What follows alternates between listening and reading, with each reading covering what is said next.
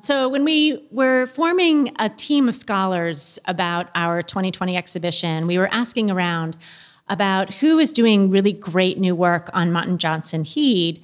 And the name on everyone's lips was Maggie Cao. She has done really innovative new thinking on this artist. So we she's been participating with us in the think tank that our curator Kate Menconeri put together of experts on Heade and on eco- the ecological themes that relate to Heade's paintings. Her comments have been fascinating, so we're really eager to hear the rest of it here today. So please welcome Maggie Cao.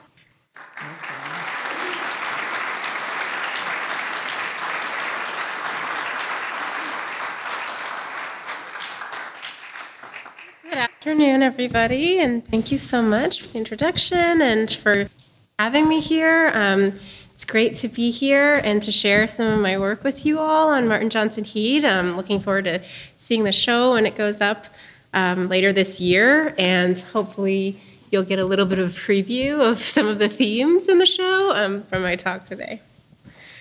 All right, so let's see, let's begin. And I'd like to begin with an act of sabotage because, you know, you just got to make the Hudson River School exciting like that. So, sabotage.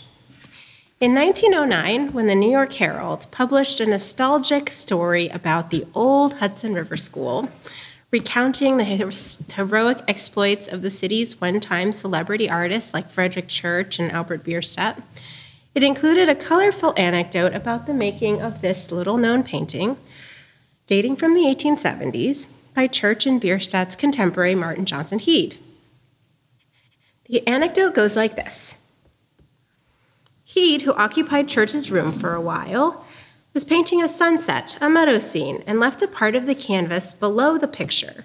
When Heade went out, Church at once finished the lower part. The water from the meadow is leaking down in every direction. The effect was immense. So, if we are to believe the author of these reminiscences, who is, by the way, a kind of, I looked this up, a military historian turned art enthusiast, then this painting was the result of a cruel practical joke. While Heade perhaps had every intention of turning this canvas into a marsh scene, like the many that he would paint at this point in his career, the celebrity artist Frederic Church saw something like this, an unfinished canvas, and in Heade's absence ruined his efforts by making a for ma- to make a pleasing and valuable picture by adding this in the lower register. And what exactly was that?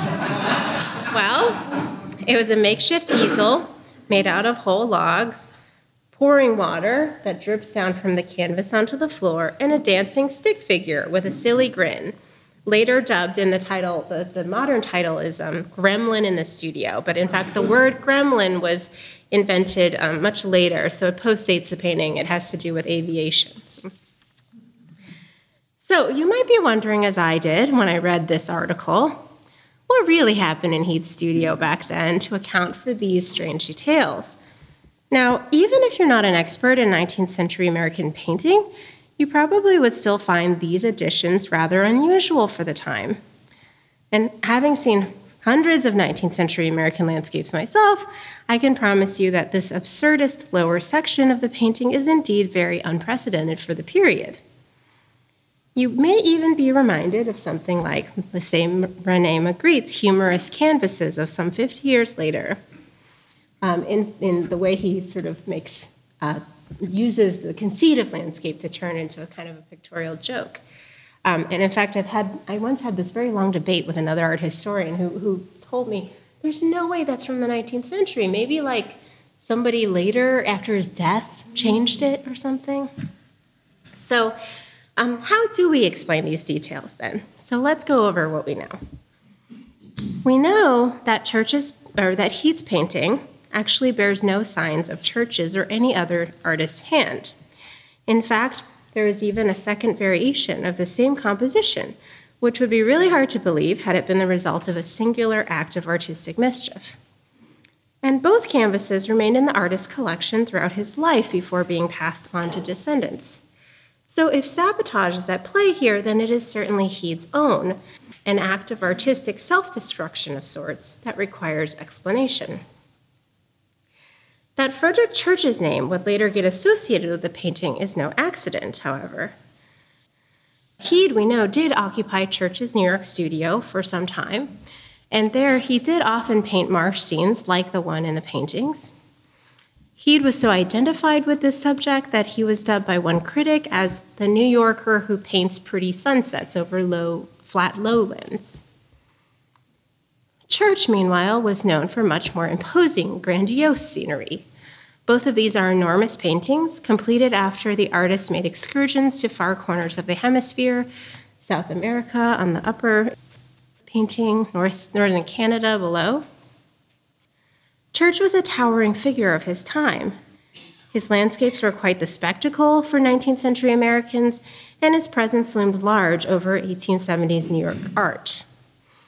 So, to unravel our little mystery, we need to trace the intersections of two very dissimilar artistic careers that of Church, an artist widely recognized as the landscape painter of his generation, and that of the lesser known Heade. And so there's Church, there's Heade, an admirer of Church's work, but also a skeptic about its artistic mission.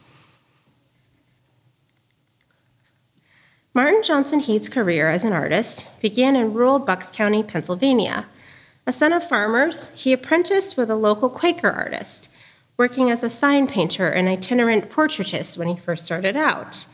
In subsequent years, he relocated to small New England enclaves and to frontier boomtowns, um, but was constantly plagued um, by failures to establish a profitable studio. As a moderately successful provincial painter with aspirations to become a landscapist, he moved to New York City in 1858, renting studio space in the new studio building on 10th Street in New York City, the unofficial headquarters of the well regarded New York Landscape School, later to be called the Hudson River School. By then, this group of landscapists had become the country's foremost school of painting. It was under Church's leadership that landscape had become much celebrated as an art form both at home and abroad. Church, of course, was building on the legacy of our own Thomas Cole, his teacher and mentor. Cole, as you know, probably know, championed the higher purposefulness of landscape painting in America at a time when the artistic output of this country was considered provincial and second rate compared to the great academic traditions of Europe. Cole famously argued that American terrain however young, was as worthy a setting of historic and legendary narratives as a scenery of the old world, as he demonstrated in his allegorical landscapes like this one from the series The Course of Empire. Cole inspired a generation of young artists to pursue the genre of landscape, and one of these was Church, who would make a name for himself by adapting his mentor's mission to a growing national taste for naturalism creating pictures that would imbue observed rather than allegorical scenes with a deep patriotic meaning. The year that he had arrived in New York City, Church's large canvas, Niagara, was making a stop in the city between a recent European tour and an upcoming domestic circuit, displaying the sheer power and sublime beauty of a national landmark that was unrivaled by waterfalls in Europe, the painting would have embodied for, this, for its domestic and foreign audiences the intertwining of nation building and landscape painting. When he saw it, he declared to a friend in a letter that the canvas was the most wonderful picture I ever yet saw. At the 10th Street studio, Heade and Church quickly developed a friendship that would last a lifetime with Church taking the newcomer under his wing, even though Heade was awkwardly slightly older. And in 1866, Heade began to sublet Church's studio. For over a decade, he would work there whenever Church was traveling or at Olana, his estate across the Hudson. Because they shared a workspace, critics regularly associated the two painters though this was usually um, this would usually involve a celebration of church at Heade's expense. So one review of Heade's work began with the fact that they were actually painted in the locality where Mr. Church's pencil brought into the existence the Falls of Niagara. When reporting on an annual open studio event, this illustrated magazine showed Heade's landscapes displayed like little miniatures against Church's oversized easels. The image is an apt reminder that Heade was constantly overshadowed, literally dwarfed, as in this case, by his more famous colleague. Of course, Heade wasn't the only one working in the shadow of church at that time. There were many friendships and rivalries among landscape painters in the second half of the 19th century. Some artists, like Louis Mignot, would imitate Church's approach, but with more modestly sized canvases for slightly different markets, while some, like Albert Bierstadt, would build lucrative careers by adapting Church's innovations to novel subjects that had not yet been tackled, and in Bierstadt's case, the American West.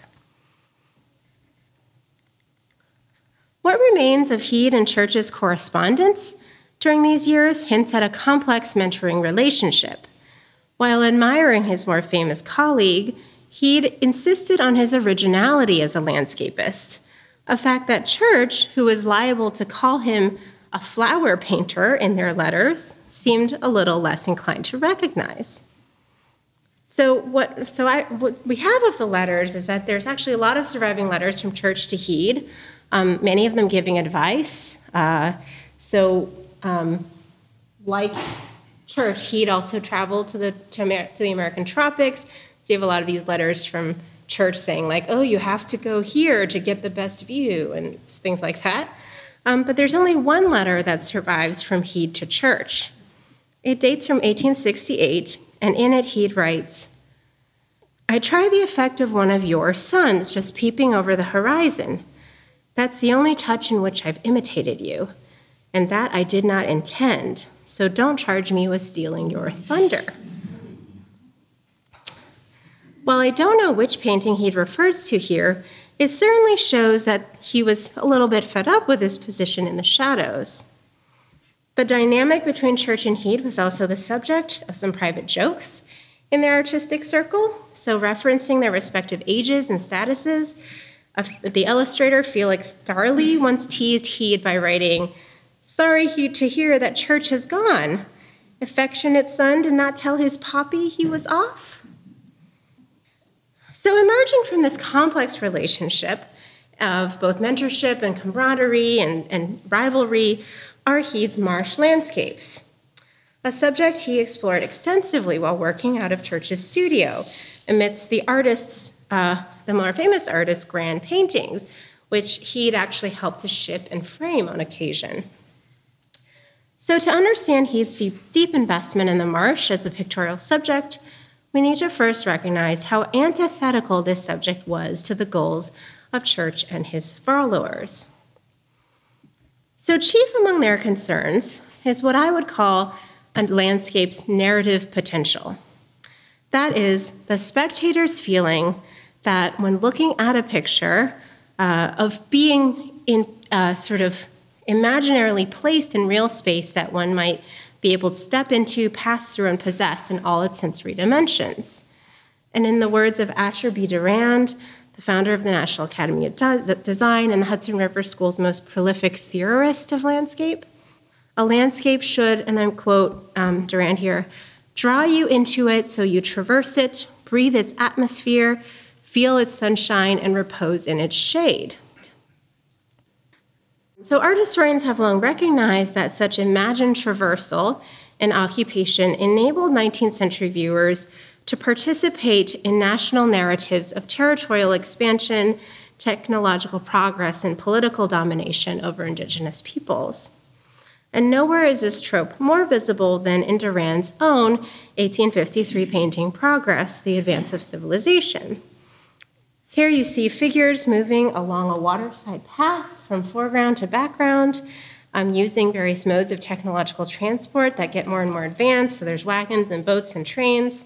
And in their movement through this space, their traversal of the space enacts a kind of um, domination over the land. So, um, left in the shadows here is a group of Native Americans who are then being removed to reservations while in the distance lies sun-drenched, a sun-drenched frontier ready for conquest and inhabitation. We not only see familiar formulas like this at work in Church's landscapes, but we see them into a kind of more dramatized effect. In his 1853 Heart of the Andes, for instance, beholders are offered a richly detailed foreground that gives way to a series of textured strata in the middle ground and open pathways to distant peaks. Church's improvement on the construction of landscape was the invention of the composite, um, which means a kind of stitching together multiple viewpoints into a single composition like this. In other words, there's not one vantage point in the Andes where you could stand and see this before you. Um, instead, what Church did was he did these very detailed sketches of certain locations as well as um, flora and fauna. And then in his New York studio, he combined all of these into a believable scene. This compositional strategy gave the fiction of traversal even more force. In experiencing this picture, one could come to know or symbolically possess not just a particular prospect or single environment, but the whole of the Andes, from the misty jungle lowlands all the way to the bald, majestic peaks. And enthusiastic critics indeed boasted that this painting was, and I quote, a complete condensation of South America.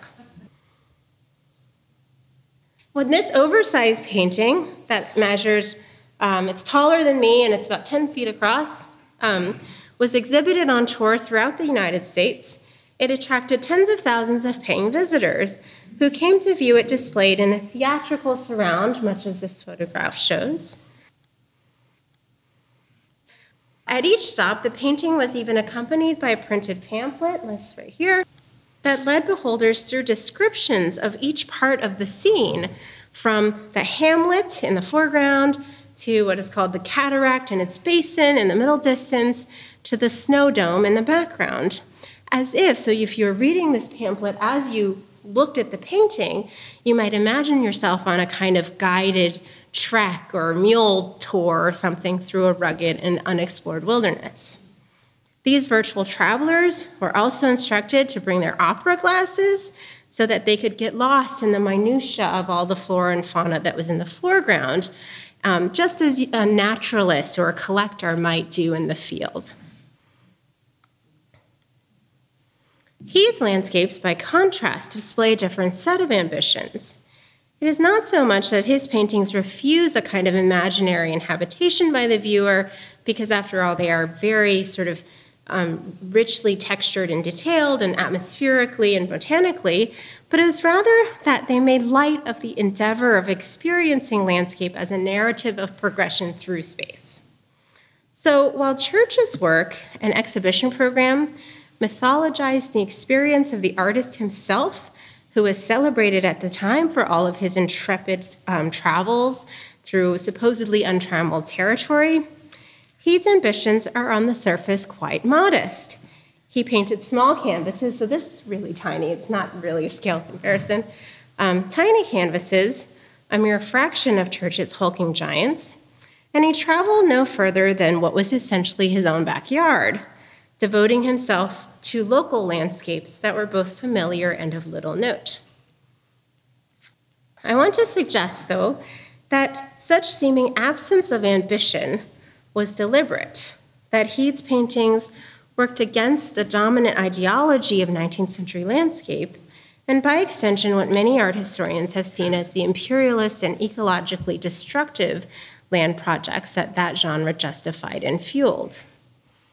So, Church may not have been an imperialist himself, but part of the appeal of paintings like Heart of the Andes and the icebergs, which I showed at the beginning, was to unveil those regions of the New World ripe for exploration and development.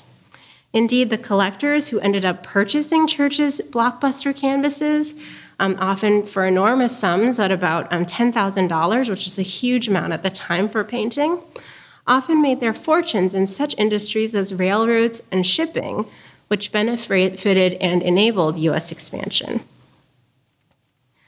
What differentiates Heade from not just Church, but indeed most of his landscape painter peers, is subject matter. He chose to paint wetlands, and not just any wetland. Um, and in fact, the term wetland is not used during Heade's lifetime, but was only invented in the 20th century. Um, but a specific kind of coastal landscape that was ubiquitous in the eastern United States, the salt marsh, an intertidal zone between land and sea.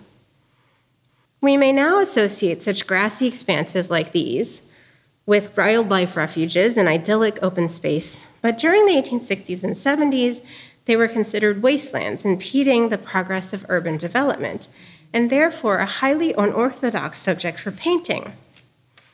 Cosmopolitan Americans would have viewed such landscapes as marine wastes and plague breeding swamps, the source of unpleasant uh, odors ripe with, rife with miasmic associations.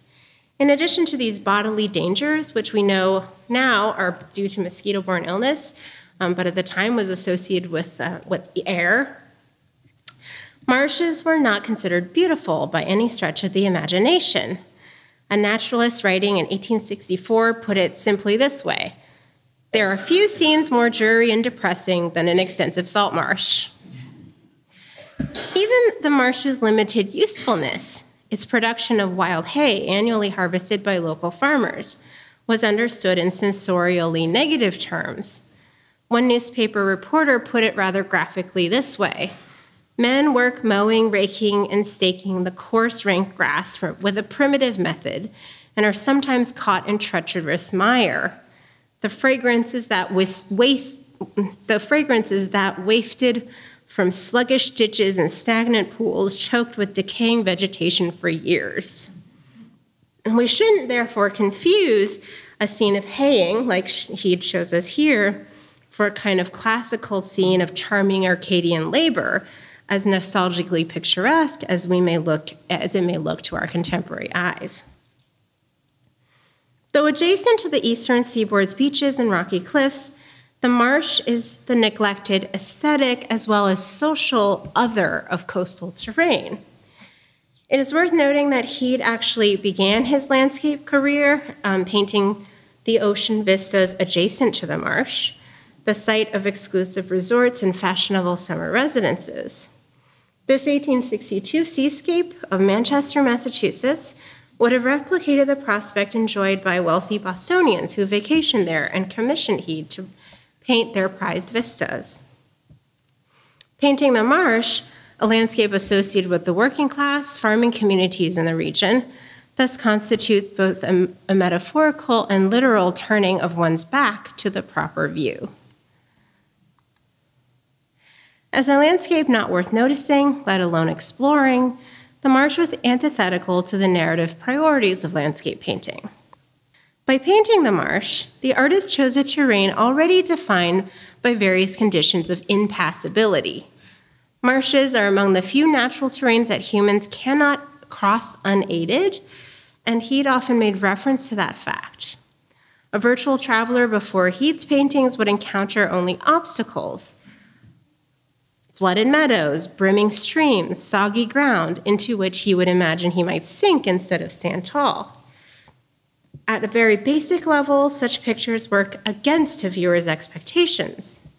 And they do so by taking part, and importantly, in a counter discourse of non traversability, which grew specifically out of the many failed efforts of the time to turn wetlands into solid earth. The 1860s and 70s marked a major push for wetland reclamation in the United States. Not only on the eastern seaboard where Heade was painting, but also notably in California. Um, this is a moment when the Central Valley, which is a floodplain, becomes transformed into an, an agricultural region, which now produces a vast majority of our produce. Aiming to expand transportation networks and city boundaries and arable land, Mid 19th century developers used unreliable methods for draining and diking northeastern marshes. Um, some of the in industrial efforts to do so are shown in this, um, uh, these prints published in 1867. Their successes were often short lived because they both lacked a firm understanding of flood management and faced retaliation from the farmers and fishermen that depended on the marsh for their livelihoods. Risky speculation, hindered movement, and unquestionable foundations came to define marshlands in New England and the mid Atlantic during this reclamation boom. While newspapers boasted that vast acreage worth little or nothing could converted, be easily converted into lucrative real estate, reclaimed land constantly reminded its residents of former, its former wetness and its precariousness as a surface for inhabitation. A government report issued in 1886 estimated that some 3 million acres of coastal marsh along the Atlantic could be transformed into developable terrain, but efforts to exclude the sea and till the land had been unsuccessful owing to, as the report noted, failures to see the true conditions of the work. In 1872, Marshfield, Massachusetts, which was the subject of many of Heade's paintings, became the site of the most extensive reclamation experiments yet undertaken in New England. At the cost of $30,000, speculating landholders constructed a dam on the Green Harbor River to keep water out of the surrounding marshes. But by the end, uh, but by the mid 1880s, only a small percentage of the drained land had been, as newspapers reported, brought to tillage, and even that in a very imperfect manner. Sometimes drainage projects had downright dangerous outcomes. A New Hampshire newspaper reported in 1873 that accidents at a local train station built on salt marsh had um, become frequent because the solid earth was so scarce um, and that it was difficult to drive, unload, and without getting upset. So in Boston, when developers were transforming um, 450 acres of marsh in the Back Bay and the South End into residential neighborhoods,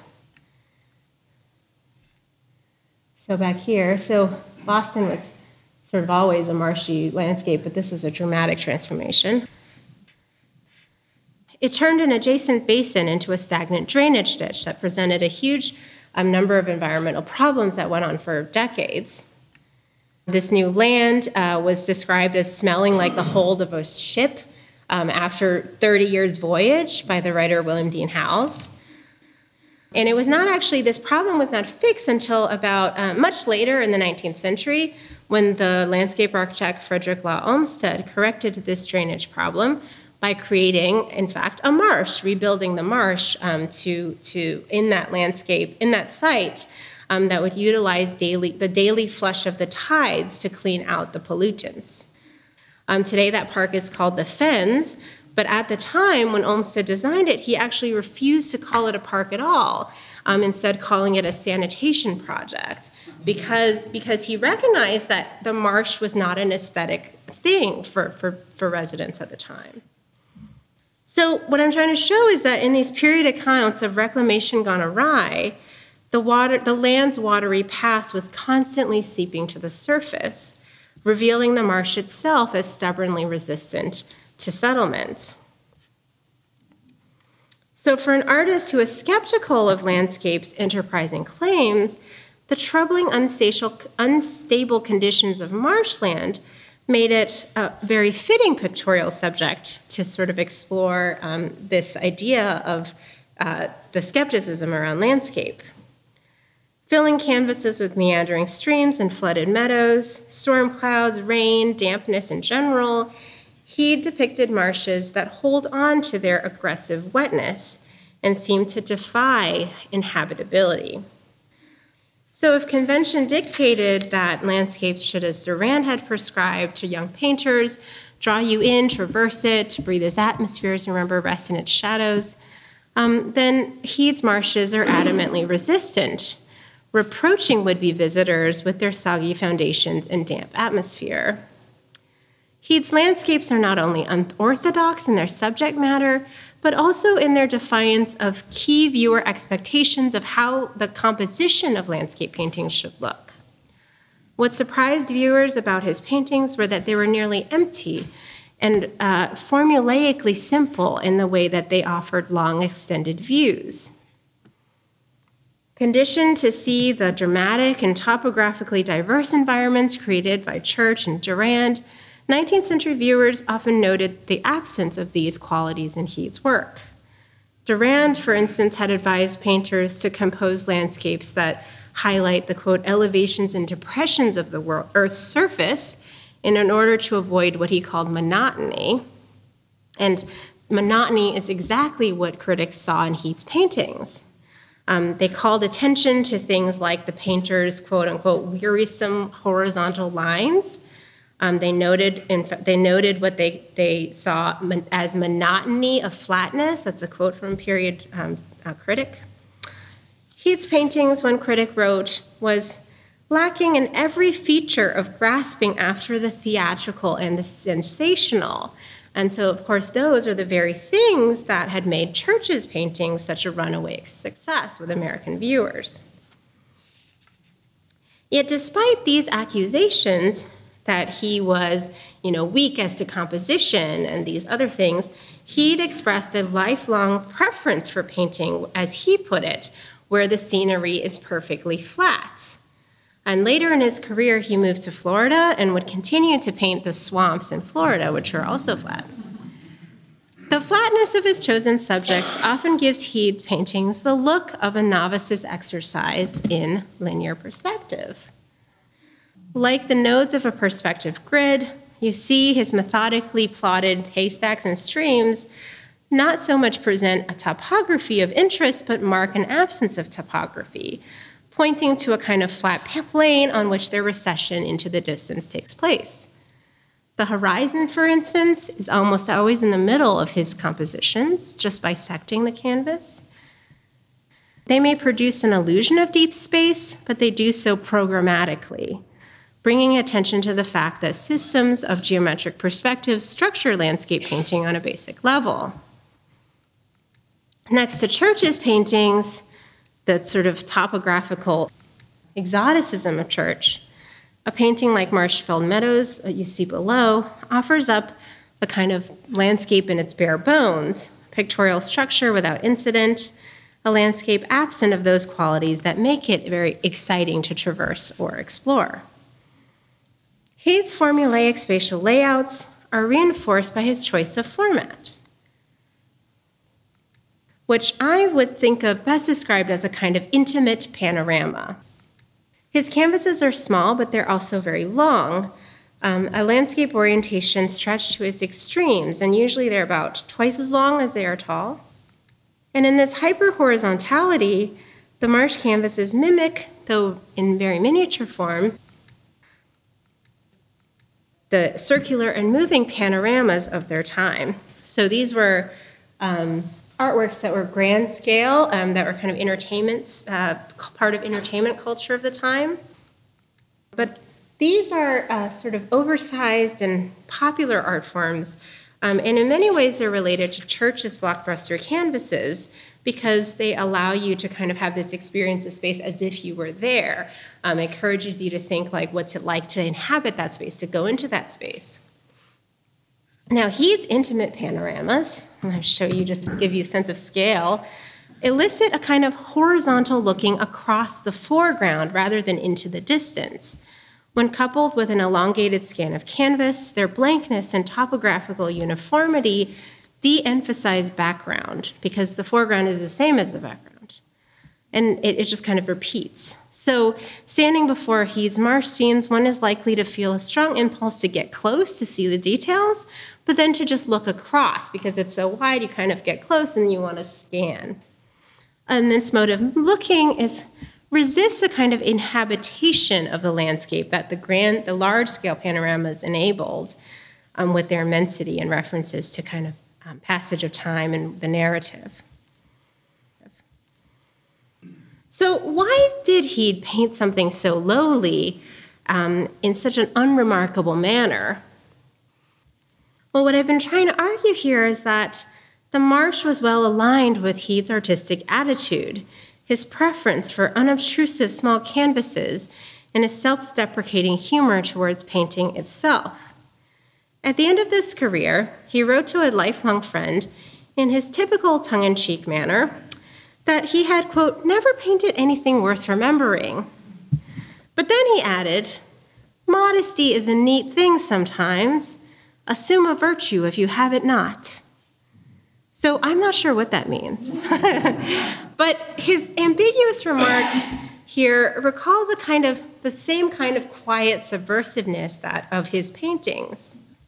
Which operate under a guise of modesty when set against the grand ambitions of much of landscape painting of the time. In a sense, the self effacing logic of marsh scenery, the fact that it's a kind of non aesthetic, banal site, works towards a humbling of landscape painting itself. In picturing the marsh as he does, Heade was quietly attempting a revision of the genre one that was liable to turn the entire landscape labor of landscape painting uh, into a joke. Now, Heade's joke on landscape is nowhere more evident than in this painting with which I began. Here, the entire premise of landscape painting as an illusionistic, imaginatively traversable space is turned upon its head. So, on the one hand, you might say, the picture seems to celebrate landscape, because after all, it calls attention to the genre's illusionism with this humorous conceit of water turning truly fluid. The conceit being, of course, that the landscape painter is so faithful to nature that the paint is come to life. On the other hand, the addition of the sawhorse and this grinning cartoon figure does just the opposite. It suggests that painting is no more believable than it amounts to this kind of child's drawing underneath the canvas. Those details further want us to become aware that the painting isn't quite a landscape at all. With the addition of this lower section that's a studio setup, he has actually turned his landscape into a still life. This isn't a painting of a marsh, in other words, it's a painting of a painting. This play, with shifting levels of reality, may remind you of trompe l'oeil, the hyper realistic, fool the eye, literally means fool the eye in French, still lives that tricked viewers into confusing painted surfaces for actual material objects. So there is a long tradition in Western painting of trompe l'oeil still life featuring works of art that are positioned upright and close to the viewer, and I'm showing you an 18th century example, but there are many. So Heade's painting is in a classic trompe l'oeil, since um, you're not, you wouldn't, because of the little cartoon section, you're not actually fooled into thinking this is a real uh, canvas, like you would be fooled into thinking that drawing of a cow is a real drawing. But there's good reason that this that Heade's painting replicates this familiar trope of trompe l'oeil, because trompe l'oeil itself is a style that relishes in a kind of self-conscious play with the conventions of art. So let me explain what I mean. The philosopher Jean Baudrillard has actually called trompe l'oeil a kind of anti painting.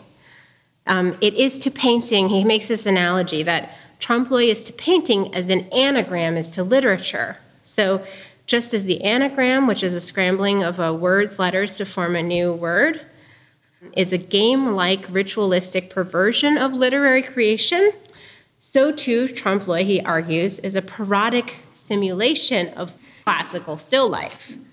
So, still lifes, so let me just show you in, in this example what I mean. So, in a classic still life um, that you have on the right, objects are located on a flat horizontal surface, the tabletop. There's a horizon, there's directional lighting, there's depth of field, um, things behind other things. Trompe l'oeil, on the other hand, which you see on the left, um, is maybe it looks more real when you first look at it at first glance, but it actually inverts all the conventions of still life. So there's no horizontality, everything's vertical, there's no weight because these things seem suspended on the wall. There's um, no atmospheric lighting, there's a kind of nebulous lighting.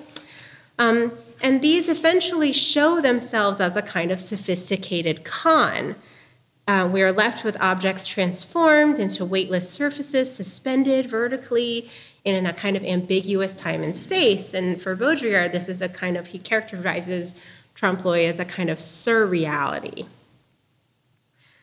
So now let me return to Heade. Much of what this painting does is similar to the kind of surreal logic of trompe l'oeil. We might even say that Heade's little painting is a kind of anti landscape because it perversely restructures that genre's established formulas. By turning his landscape into an object on an easel, Heade shifts our relationship to the artwork from the horizontal to the vertical. Just as in trompe you had a kind of surface tabletop turned into this vertical wall. And landscape has long been associated with horizontality in the Western tradition um, because landscapes were imagined uh, always um, since the Renaissance as scenes viewed through a window or from a high prospect. So the scenery is always one that info- unfold into depth, a depth that one imagines oneself able to cross. Heade's picture, though, mandates its own verticality. It tells us not to imagine it as a receding horizontal scene, but rather as a very much upright canvas with pigments upon it. On its sawhorse made of logs, any illusion of depth is undone by the unsophisticated drawing below the scene. Heade has also made every effort to connect these two spatial sections of his picture. So recall what I talked about, you know, his, his marsh landscapes being kind of this formulaic display of perspective, right? So Heade constructs here actually an imagined kind of perspectival grid that enfolds the marsh scene into its surrounding studio space. So if you take the logs down on the bottom there and you imagine extending them into the horizon, then in fact those horizontal, what we call orthogonal lines, which are lines of perspective, would actually meet at the horizon of that embedded picture. Um, a horizon where you might imagine a setting sun to sit. And perhaps this too is gestured by this little impish face just below the canvas, as if there's a playful sun that's sunk below the horizon. So it seems there's a kind of unlandscaping at work. The orientation, the reorientation of the painting from horizontal to vertical is, I think, best marked by the leaking water and the growing puddle on the floor. In other words, water can only leak if it's vertical. Taken literally, you might imagine that this isn't about you know, the conceit of landscape painting being real, but what if this canvas had gotten wet and now it's just set up to drip dry? As funny as that may be, this reorientation is also a kind of apt metaphor for what landscape painting really is as a national endeavor at the time, led by Church. So, landscape painting is a kind of turning of something horizontal into something vertical. In other words, a conversion of terrestrial ground, literal land, into pictorial ground, the picture that hangs.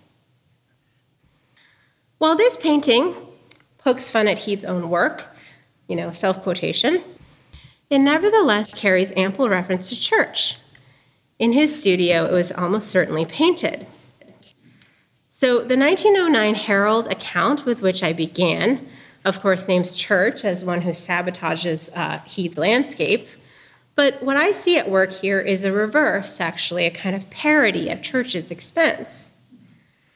The easel, um, the sort of sawhorse easel here, constructed of whole logs. So you imagine the scale of this would then make this painting huge, right? So that's the kind of oversized pictures that Church actually made. And this water running over the edge of the canvas is a kind of recalling Church's cascades, those little waterfalls that you see in so many of his paintings, like Heart the Andes. That this parodying of Church's narrative landscapes is performed using the salt marsh is particularly meaningful since wet ground, literal excess water, is what prevents horizontal passage in actual land. I think this painting is really connecting intersecting narratives of drainage. Ecological destruction wrought by the period's wetland reclamation projects, um, on the one hand, and a kind of playful undoing or uh, outdoing of one landscape um, one landscape painter by another, on the other hand. So here, Heade's joke on Church, or Church's on Heade's, if you follow the sort of original le- legend, quite literally takes the form of emptying something of its liquidity, water, but also its value. Water removed from the marsh on one level of reality, and from the canvas on the other. Um, so, ecological forms of drainage actually preoccupied Heade visibly in other works from the period as well. So, in addition to salt marshes, you may know, some of you may know this, Heade also was well known for painting orchids. Plants popularly believed at the time to be parasitic, even despite the efforts of 19th century botanists to convince the public otherwise. So, orchids actually are not parasitic, um, they just use their host plant to physically support them. But the orchid's parasiticism, a kind of drainage of the host plant's nutrients, was actually very central to the way that Heade painted them. Um, so here, uh, what you see, um, you see that what's happening in this in this canvas is that there's this really richly saturated and animated flower that's encircled by bare tree limbs, um, draped with moss. Um, there's a kind of even the birds are kind of deathly still. So there's, it's a kind of like as if this is a, also a narrative of drainage of nutrients. So in Heade's marsh paintings, we can imagine a similar, though less visible, um, generation of waste and ruin through drainage um, or perhaps kind of imagine that this is what the reclamation has resulted in, that reclamation is going to literally drain the water, but in the process, um, kill life around it. So, what I've tried to do today is to trace two parallel narratives. One art historical about landscape painting as a genre and the various artists that, um, that made competing versions of landscape and the other eco critical about challenges of reclamation, landscape reclamation, that still remain with us today. To bring us up to the present, um, in New York City, for instance, extreme weather events like Hurricane Sandy in 2012 severely damaged those neighborhoods, you can see them in blue, the evacuation zones, those neighborhoods that one time had been tidal marshes. Um, and tidal marshes importantly serve as a natural buffer zone between land and sea. So, long denuded of its marshes, New York City is now considering a $119 billion offshore seawall to protect against future extreme weather. So, salt marshes destroyed in Heade's time are now leading coastal cities all over the eastern seaboard to consider massive and costly infrastructural defense systems in the face of climate change. Although we now recognize the benefits of coastal marshes, something that Heade's contemporaries were sort of only just beginning to think about, wetlands are still being replaced by pavement at astounding rates on the eastern uh, on the Atlantic coast. Aside from the crucial task of providing against storm damage, flooding, and erosion, Salt marshes also help to maintain healthy water and air supplies by storing noxious carbon and filtering nutrients, pollutants, and pathogens from estuaries. The impending loss of marshes, one of the most ecologically productive and diverse ecosystems in the United States, will have a host of negative consequences polluted coastal waters, increased storm surge vulnerability, mosquito overpopulation, and loss of habitat for fish, shellfish, and birds. We might wonder well, when painting salt marshes as aesthetic spaces resistant to development a century and a half ago, was this all something that Martin Johnson Heade already understood? Well, yes and no. Whether Heade was an ecological painter in the full sense of the word is impossible to really answer because it's not a historically sound category for his time. So, ecology is a term that emerged right around the time that Heade was painting his marsh landscapes, but the study of environmental interactions that gave birth to the environmental movement um, was much later in the 20th century. That said, Heade had very real concerns about the environment and was vocal about environmentalist causes. So when he retired, his sort of Floridian retirement, um, he regularly published articles in a natural history magazine called Forest and Stream, including several that denounced the hunting of exotic birds for their plumage in marshlands in Florida. They're hunting them for the fashion industry. So we may not have a record of what he wrote about the salt marshes he painted in the 1870s, but his paintings suggest that he was engaged in a kind of pictorial revisionism inextricably embedded in environmental concerns. With the marsh as his subject, he was exploiting the physical instability of the wetland to visualize cultural instabilities about traversable land and its representation in landscape painting. Heade's interest in questioning the conventions of landscape um, was perhaps a condition of his insecure position within his artistic circle, but in the end, his work recognizes in astute ways the particular incapacity of American landscape painting to uphold its ideological meaning in the face of environmental destruction. At a time when the human control over land and its refashioning was a goal largely reinforced by landscape painters, Heade was on the side of nature, even in its dreary, soggy monotony. Thank you.